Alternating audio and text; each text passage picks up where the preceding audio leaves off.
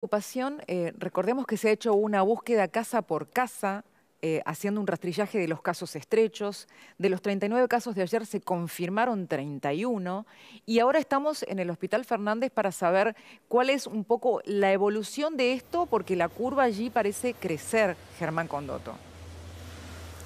Sí, realmente lo que está pasando en el barrio 31 es preocupante, por eso que mencionabas vos, Cris, porque la curva va en aumento.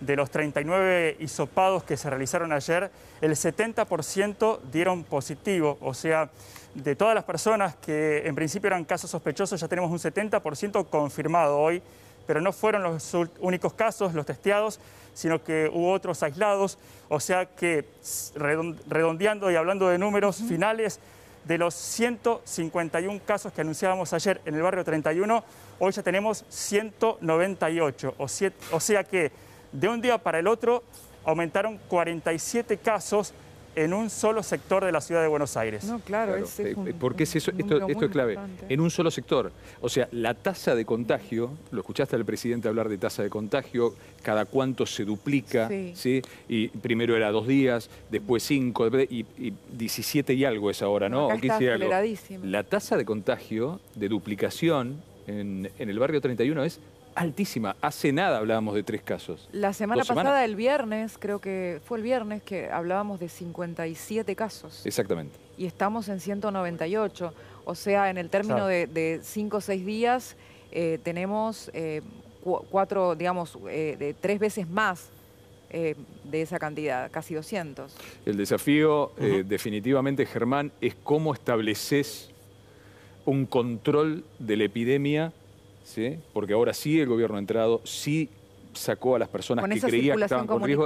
Pero claro. Claro, con esa eh, circulación eh, comunitaria. No drama, sé qué... Eh, de, la realidad, del hacinamiento. ¿Vos te acordás la, la primera chica que hizo una, carga, una carta pública con la que hablamos?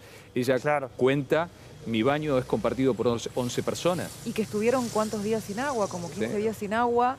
Eh, y además otra cuestión, eh, ¿cómo lográs? Porque hemos visto en casos en la provincia de Buenos Aires lo que le llamaron el aislamiento comunitario.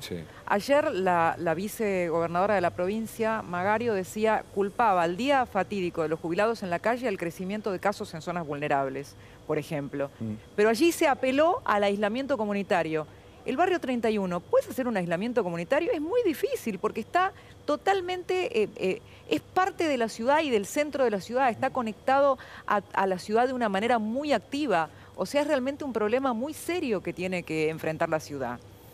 Y además, hay algo que es llamativo y preocupante a la vez, porque ayer se testearon 300 personas que habían estado en contacto con los casos positivos, pero después de eso surgieron otras personas que no habían estado en contacto con ellos y son los que hicieron que la curva siguiera en ascenso. Y lo mismo pasa con otros barrios, como por ejemplo en la 11114, en donde ya tenemos confirmados 79 casos, y si vamos sumando los distintos barrios vulnerables, en la ciudad de Buenos Aires llegamos a 301 casos de los 1.860 que hay en total, de acuerdo a los últimos datos.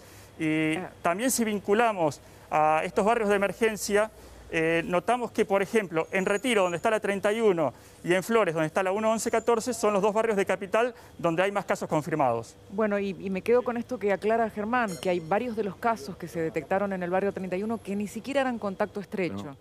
Que ahí tenés otra, otra cuestión de preocupación, porque ya no es que podamos determinar de dónde procedió el nexo epidemiológico. No, y el tema ¿eh? es lo que habría que decir y que difícilmente escuches en alguna autoridad, hay circulación comunitaria.